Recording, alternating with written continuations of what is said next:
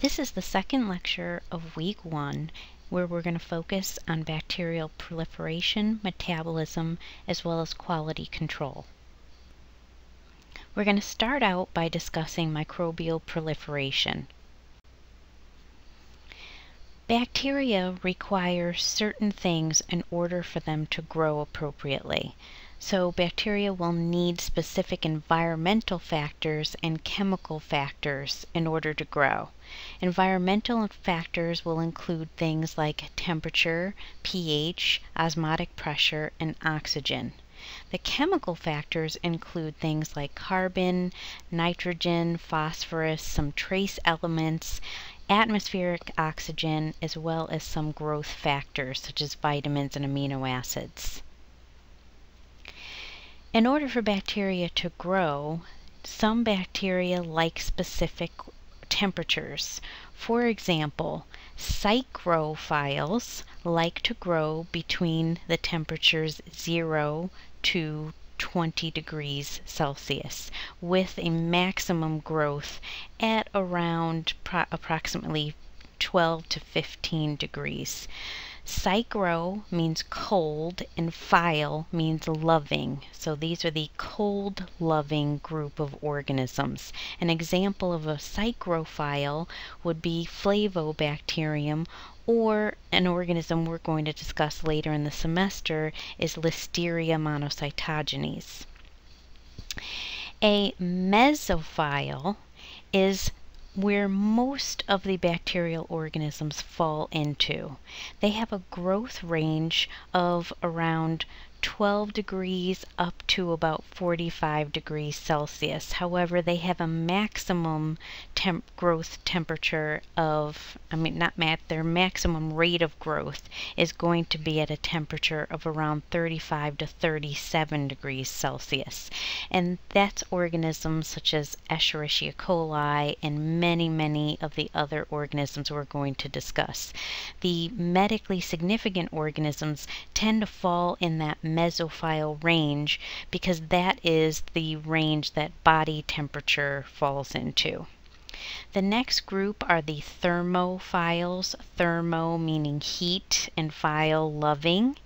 And these are the organisms that like to grow at temperatures between about 42 degrees and up to almost 70 degrees Celsius. We then have the extreme thermophiles that like very, very, very high temperatures. These are organisms that like to grow at around 68 degrees up to almost 100 degrees Celsius. So these thermophiles and extreme thermophiles are the organisms that are found in hot springs and in uh, water heaters and things like that. They like they like much higher temperatures. Not only do bacteria require specific temperature or temperature ranges for growth, they require specific oxygen atmospheres.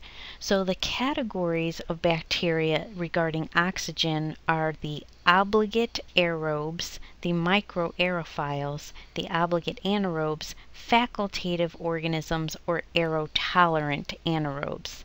So for our obligate aerobes, those are bacteria that need oxygen. They have to be in an aerobic environment in order to grow. If they are in an environment with no oxygen at all, these organisms will not grow. The microaerophilic or microaerophile bacteria, they will grow in the presence of oxygen as long as there's not too much oxygen present. They will not grow at all if there's no oxygen. So oxygen is required, but at levels below 0.2 atmosphere. The obligate anaerobes will not grow at all in the presence of oxygen. They will only grow in an environment that has no oxygen at all. Oxygen is actually toxic to the obligate anaerobic bacteria. Our facultative organisms, that's where a lot of our medically significant bacteria fall into, will grow in the presence of oxygen and also will grow where there's less oxygen. So oxygen isn't absolutely required for growth, but oxygen is utilized when it is available. We then have our aerotolerant anaerobes where again will grow would prefer to grow in an anaerobic environment but won't get killed in an environment where there is some oxygen. So oxygen is not required for growth and they don't utilize oxygen for growth but oxygen in these organisms is not toxic as it is in the obligate anaerobes. Bacteria proliferate through binary fission, where the DNA material is copied and then the organism just separates and divides, and then one organism becomes two, two organisms become four, four become eight, and so on and so on. Bacteria grow in stages. So usually bacteria will start out in what's called the lag phase. The lag phase, there's a lag in the growth because the growth starts out a little bit slowly. This is when a bug enters a new environment and it needs to acclimate to that environment so it won't start doubling at its normal rate. When it starts to double at its normal rate, it's in log phase. That's when it acclimates to that environment, its metabolic machinery is running smoothly, and they are in exponential growth. So they are doubling within their normal doubling time, where E. coli has a 20 around a 20 minute doubling time. Once organisms will uh, are growing at an exponential rate, there usually comes a point where they're utilizing up all the nutrients in the media. So at that point, the the organisms are going to start to slow down their growth rate. They then become static and enter into this stationary phase where the growth rate will stop for a period of time. They will start shutting down some of their metabolic machinery so that they're not utilizing too many nutrients. If there's no new nutrients put into the system, the bacteria will then enter a death phase where they can't stay in that environment, their nutrients are all used up, and toxic waste will start to build up. We're now going to talk about metabolism. So there are several um, pathways that bacteria will utilize to gain energy. And I'm sure you covered these in a general microbiology course. We are not going to go into detail in these pathways since we, we are more focused on the medically significant microbes and not these specific pathways that are covered in general micro. But as you might remember, the pathways are the Embden-Meyerhof-Parnas or EMP, hexose monophosphate Fate Shunt or the Entner Doudoroff pathway. Bacteria are ordered to catabolize or have catabolism in a fermentative way or through respiration. So bacteria that catabolize through fermentation will do so without any oxygen. So oxygen is not required in bacteria that will undergo fermentation. So bacteria will undergo fermentation and will generate things like lactic acid, mixed acids, propionic acid. Bacteria that ca catabolize via respiration do require oxygen to be present. So in aerobic um, respiration, oxygen is the final hydrogen acceptor, and in anaerobic respiration, oxygen salt is the final acceptor. So what's important here really is that there are two uh, main ways that bacteria will catabolize and that those are fermentation, respiration. Respiration requires oxygen, fermentation does not. Utilization of carbohydrates by bacteria. You have fermentative utilization, where a bacteria that is going to ferment will produce very high concentration of acids when they're in an anaerobic environment. For non-fermentative organisms, you don't get any acid production when you're in an anaerobic environment. The non-fermentative bacteria, you'll have two different types. You'll have the oxidizers and the non-saccharolytic or asaccharolytic organisms. The oxidizers will produce small amounts of weak acids under aerobic conditions, but they will not produce any acids under anaerobic conditions. The asaccharolytic or non-saccharolytic organisms don't produce acid at all. Whether they're in the presence of oxygen or no oxygen, they will not produce any acids. These types of um, features are important in order to differentiate one organism from another. So in a lot of our biochemical tests throughout microbiology, what we are doing is detecting the metabolic end products, which usually will give us some sort of reaction. In many of our tests, it's a color reaction. So a lot of the tests in microbiology have an acid indicator that will change a color when these types of acids are present. Some of our indicators are gas indicators because there are some organisms that will uh, generate gas byproducts, and there are also growth indicators. A very, very important differentiation activity in uh, metabolic activity in bacteria is what's called IMVIC. And IMVIC stands for the tests indole, methyl red, Voges Proskauer, and citrate.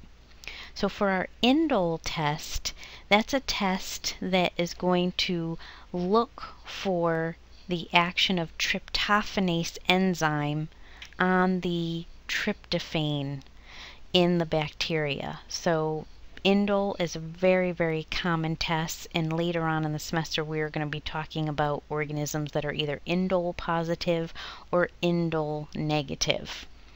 Another test is methyl red.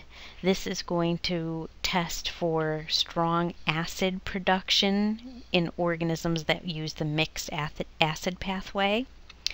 The Voges Proskauer test detects the production of acetylmethylcarbinol or what's called acetoin, and then citrate tests for the ability of organisms to utilize citrate as their sole carbon source. So IMVIC is four different tests that you can use to differentiate one organism from another organism. A very, very important method used in the clinical micro microbiology lab is to streak for isolation. So the, the concept of streaking for isolation is taking a sample and concentrating it in one quadrant or one area of your petri dish. You what you want to do is you take a, a loop and you're either using an old-fashioned metal loop that you would flame to kill the organism off of it or you might be using in a clinical microbiology a sterile loop that is disposable. So you would use your sample and streak one quadrant where you get very, very concentrated organism. You then use a fresh sterile loop or you would heat your loop to kill the organism off it, allow it to cool, and then streak a second quadrant by only going into that first quadrant a couple of times. That's going to spread the organism out and kind of dilute it out without making actual dilutions. Again, you take a fresh um, loop or you heat your loop, cool it, and you make a third quadrant and then a fourth quadrant. Each quadrant should generate less and less organisms. And in one of those later quadrants, usually the third quadrant or the fourth quadrant, you're going to start to get isolated organism or isolated colonies. And that's what you want in clinical microbiology because you want to see how many different types of organisms are, pre are present and you want to be able to see the um, possibly find the organism of interest and isolate that one on a pure culture and get it away from the other organisms that might be present. This slide shows the difference between good streaking and bad streaking. So on the left hand side you can see a nice, very nice um, streaking method where on the top towards the left you have your first quadrant and then it goes into the second quadrant where you still have a ton of bacteria and no isolation. By the third quadrant you're starting to get some isolated colonies there and the fourth quadrant you have very nice isolation where you'd be able to see different characteristics in the macro, um, macroscopic or non-microscope use of morphology. On the right hand side, you have all different quadrants that are mixing together. So quadrant one is kind of mixed up with quadrant three, and you don't have very good isolation on that plate. So your your your goal with streaking is to get really nice isolated colonies by the third or fourth quadrant. So that was macroscopic morphology, where you're looking at an agar plate and you're looking at the different characteristics of the organisms growing on the plate. And Another important aspect, to not only just looking at the organism and seeing the difference between one or another, is actually really looking at that morphology in detail. So what does that colony look like? Is it dry? Is it more moist looking? Does it have wavy edges? That might give you an indication of which type of bacteria you might be looking at. So some of the typical colony shapes of bacteria on an agar plate, you're going to see circular forms, very irregularly shaped organisms, filamentous uh, organisms that look like they have little um, veins coming out of them. You have raised colonies, flat colonies, umbonate, which have a little bump in the center. Um, so all these different colony sh uh, shapes that you should familiar familiarize yourself with before you go into the clinical laboratory where you're going to see a lot of these different types of organisms. When you describe colony morphology, it's, it, it is important in a clinical lab to be able to describe what, it, what the organism looks like effectively. So you want to look at the colony shape and the, and the colony size. Is it regularly shaped or irregularly shaped? Is the size, is it a large colony or is it a pinpoint colony? You want to look at the margin or the edge. Is it smooth? Is it wavy or undulate? You want to look at the elevation off of the plate. Is it very flat? Is it raised off of the plate? Is there a little bump in the center, which would be the umbonate? You want to look at the color. Is it a white colony? Is it a gray colony? Is it a red colony? You want to look at the texture. Is it a dry texture? Is it a wet looking organism? Is it very mucoid, which as you recall would indicate that there might be a capsule present. So describing colony morphology is very important because you as a microbiologist working in a clinical lab will be able to look at a plate and say, oh, I'm quite sure we have a streptococcus here based on the fact that we have a pinpoint gray organism that grew on a specific type of media and is smooth and etc etc. Which brings us into culture media. So we want to look at our macroscopic or with our eyes morphology on our media. And now it's important to know what media you, you want to use to grow different organisms. So media in general for to grow bacteria, it has to have the appropriate nutrients in it it must be have a sufficient moisture. So bacteria that are allowed, um, bacteria plates, sorry, media that are allowed to maybe sit around past their expiration date might start to dry up. Or if you have a, a little sleeve of plates that you've opened and removed a couple of plates and you don't seal that bag back up, those plates could start to dry out. The media should have the proper pH, and of course it should be sterile. Now that sounds kind of funny, but whenever you are doing some streaking for isolation with organisms or with patient specimens, before you start streaking that plate, the very first thing you always want to do is first look at the expiration date on those plates, make sure they're within the expiration date look and make sure the color of them is, is correct. And when you open up the lid of the Petri dish, dish before you streak, you want to make sure it's sterile. Because every now and again, plates get contaminated, and you wouldn't want to streak your patient sample on a contaminated plate, because then you wouldn't know is this organism growing in the patient, or was this already on the media before you inoculated. The different types of media, you have agar. Agar is a solid media. It is broth media that contains a solidifying agent.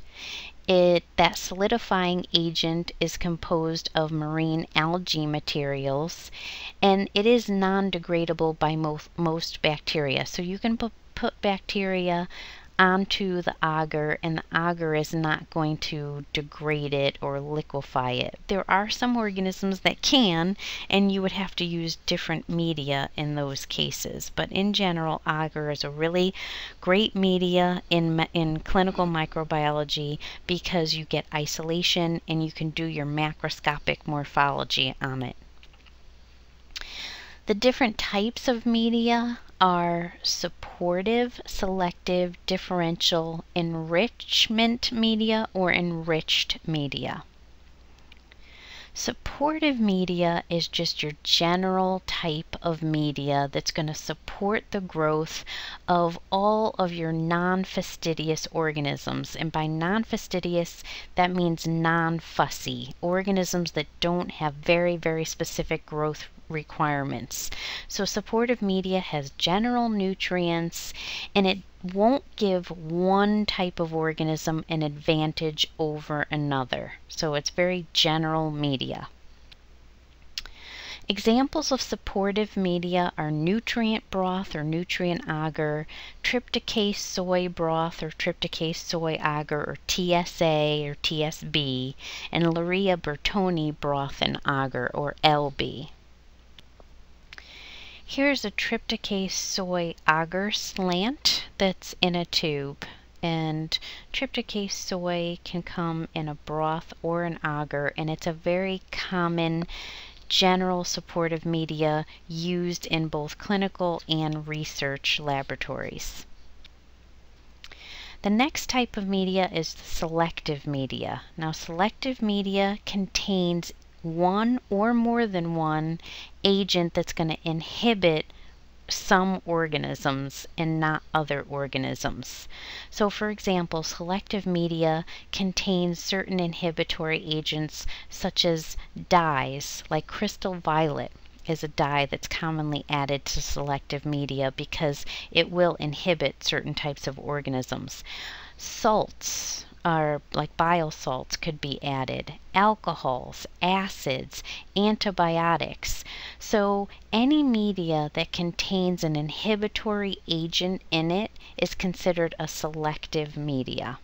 And what you want to do is you want to grow a culture, or I mean a patient sample that might contain a mixed group of organisms and you're trying to see if this patient has one specific organism, you want to streak that on selective media so you can find that one type of organism over all the other organisms that might be present. Examples of selective media are mannitol salt agar, Hektoen enteric agar or HE agar, phenylethyl alcohol or PEA agar, or Campy blood agar, which is a specific agar to grow the organism Campylobacter.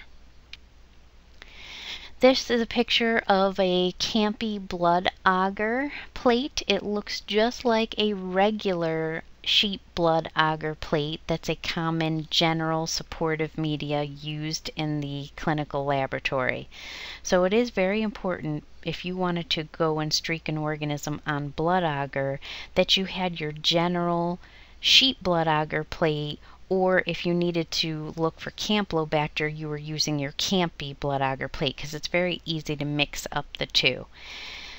If you were using a Campy blood agar plate to look for Campylobacter, you would need to grow it in specific atmospheric conditions. So you so Campylobacter is a microaerophile. If you remember, we talked about microaerophiles and their need to be in an environment that has low oxygen. You have to put the Campy blood agar in a special microaerophilic bag that will generate this low oxygen condition. The next type of media is differential media. So differential media has factors in it that will allow you to distinguish one organism for another. And the common differentiating factors are pH indicators, such as neutral red. So the pH indicators in the differential media will allow the media to turn a different color when the pH either goes down or goes up.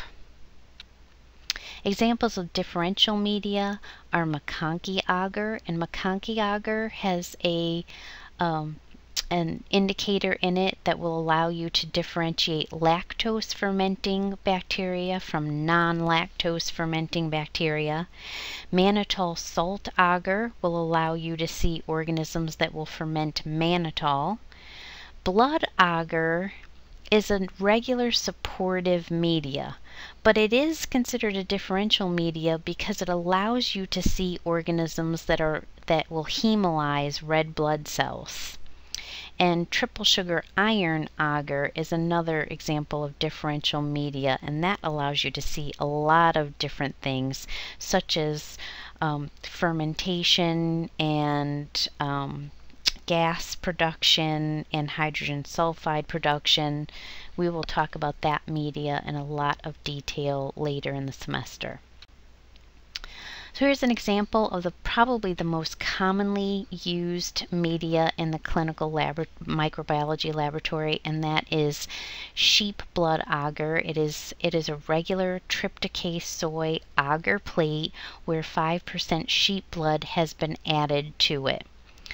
So for blood agar, you are going to use it to differentiate organisms that can hemolyze red blood cells. We have organisms that don't do any hem hem hemolysis at all. We have those that will do beta hemolysis or completely hemolyze, which you'd be able to see a clear zone around it. You could see that on the bottom. Or you can see alpha hemolytic organisms, which are partial hemolysis. We'll talk about this in more detail when we talk to when we talk about streptococci in week two. MacConkey agar is a very commonly used agar with the gram-negative rods because it will allow you to differentiate the lactose fermenters from the non-lactose fermenters. So MacConkey agar has inhibitory agents. It's actually selective and differential. MacConkey agar has inhibitory agents that will inhibit gram-positive organisms and only allow gram-negative organisms to grow on it. And then it's differential because it has a pH indicator in it as well as lactose, and colonies will turn pink on MacConkey agar if they ferment lactose. Non-lactose fermenters will won't change the media to a pink color. It, the media is normally a, a light pink color, but the colonies themselves will become bright pink for, for lactose fermenters. Non-lactose fermenters won't change color at all. They'll stay a kind of a clear white, dull white color. Triple sugar iron agar is, you could see in the picture on the right and tube one in the picture on the left, all the way to the left, is an uninoculated triple sugar iron agar slant. So it's kind of a pinkish red in color when it's not inoculated. Tube 2 in the picture on the left shows you two different things.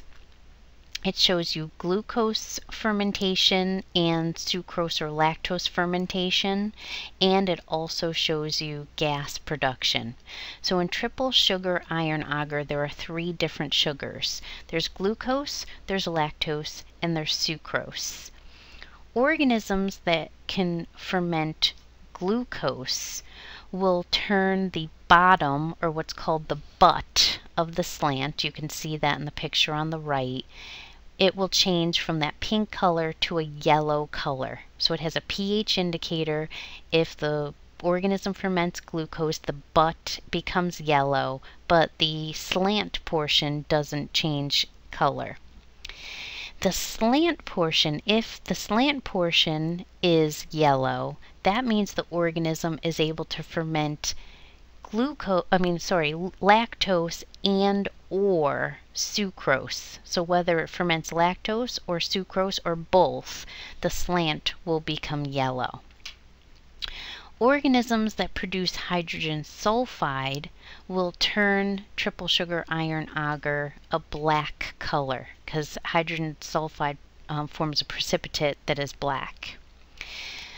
TSI agar um, media also will allow you to see gas production, and that will be bubbles or it'll make the media separate.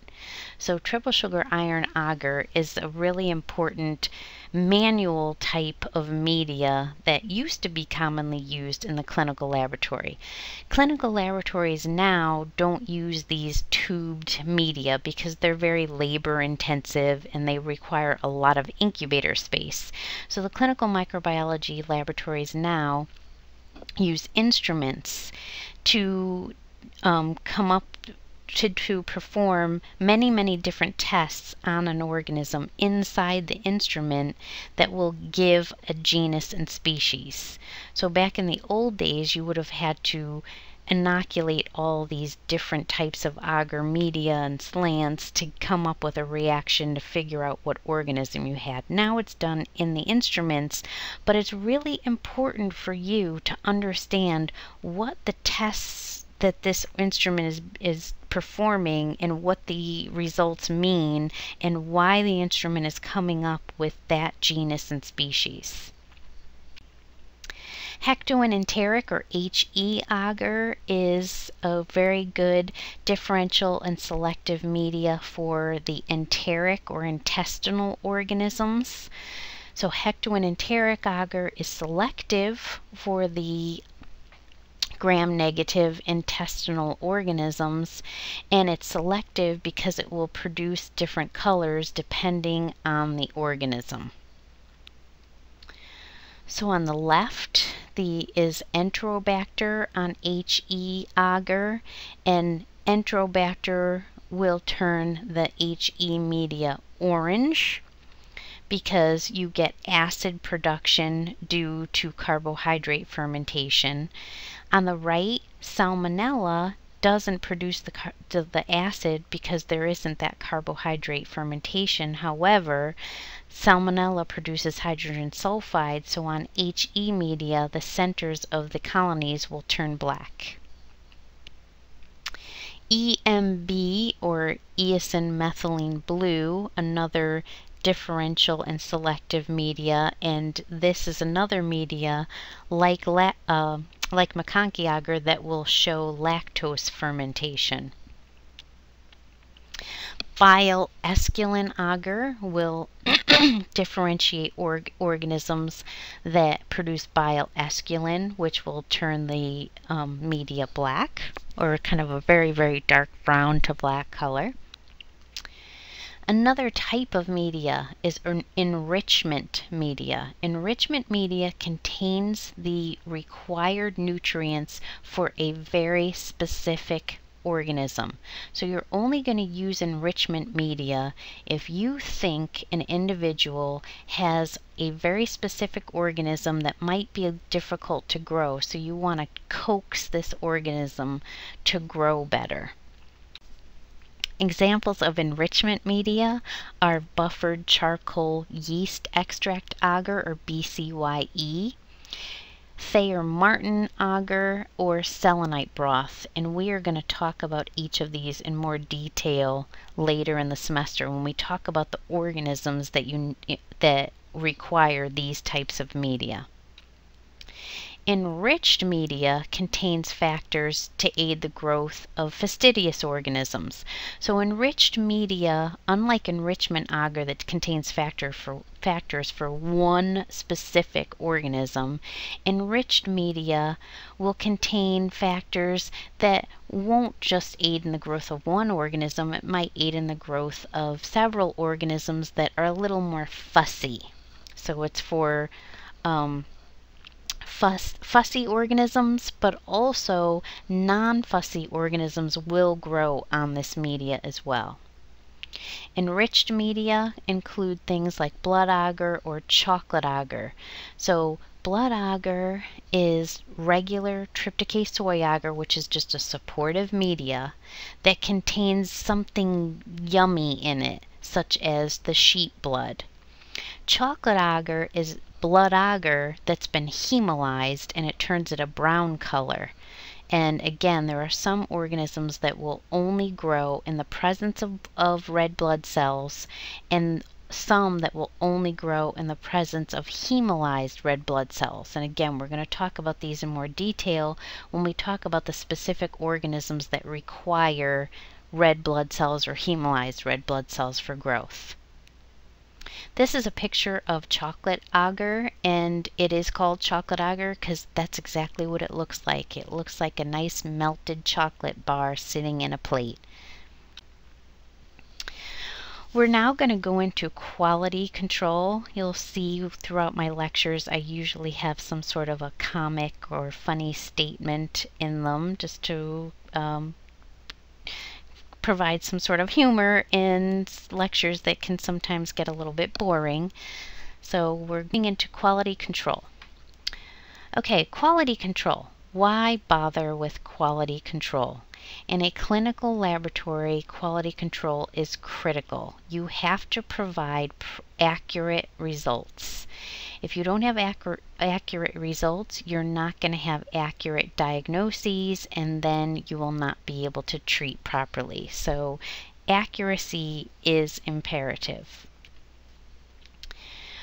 For quality control, there were regulations that were established in 1967 involving many different aspects of the microbiology laboratory.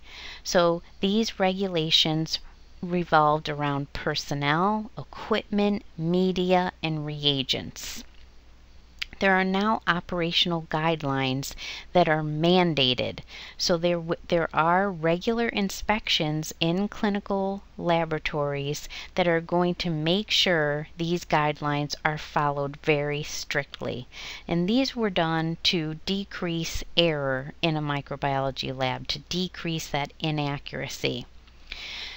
The control procedures are um, total quality management or TQM and performance improvement procedures or PI. And these two um, types of control procedures are very common in quality control areas. The control procedures will be followed in ordering criteria, for handling specimens, controlling the processing of a specimen, to control the environment and the equipment that's being used. All reagents and stains are controlled. The media, like I said before, the media has to be in expiration date. It has to have a certain color, certain type of moisture, pH, etc.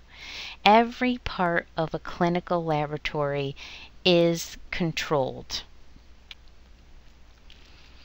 So we want to control the specimen quality. So the ordering criteria of the tests needs to be controlled, how the specimens are collected, how they're transported from the collection site into the laboratory, and evaluation of the quality of the specimen that's delivered to the lab. All these are very critical in the beginning stages of a diagnostic laboratory.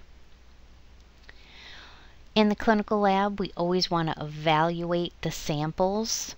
So if you find a, a, a specimen that comes in that's heavily contaminated, so, so we talked about before, you have agar plates and you want to open them up and make sure they're sterile. If there were a plate that you opened that was not sterile, you would want to discard it.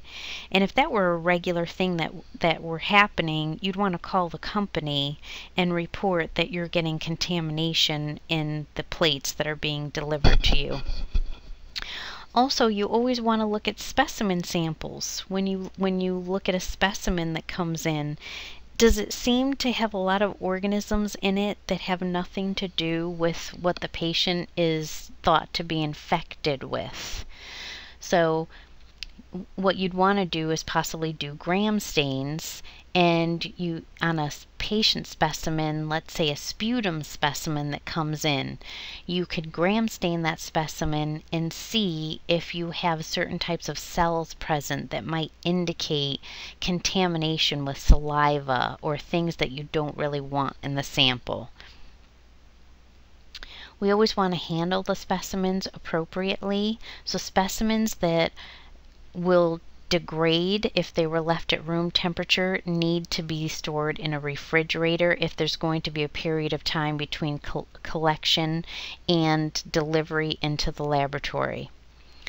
We always will have reports that we write up. Now they're all generated through the computer and um, if there were a specimen that was not suitably handled, let's say it was left at room temperature when it should have been refrigerated, you immediately need to call the healthcare provider and tell them that another sample is needed because that sample was not handled in a suitable manner.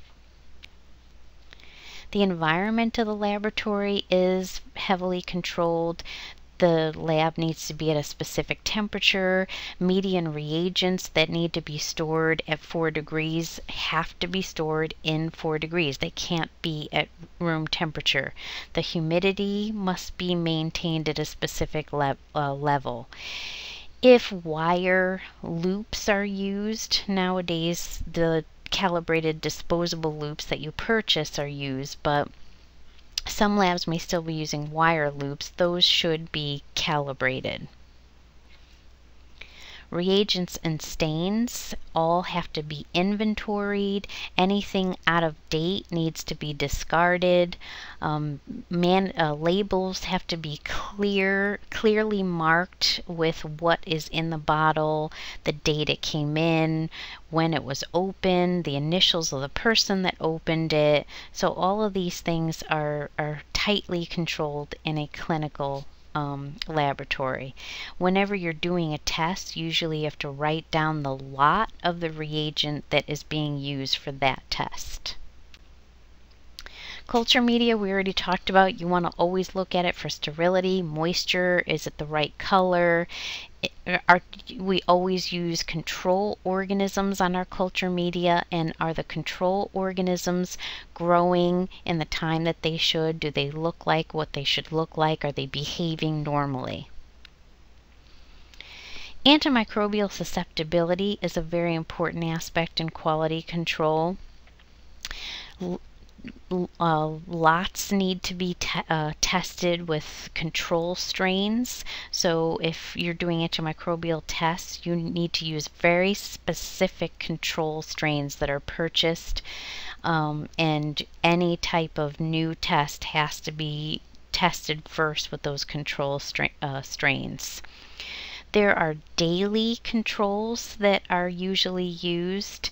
Then there might be weekly controls that might be done if one component is altered.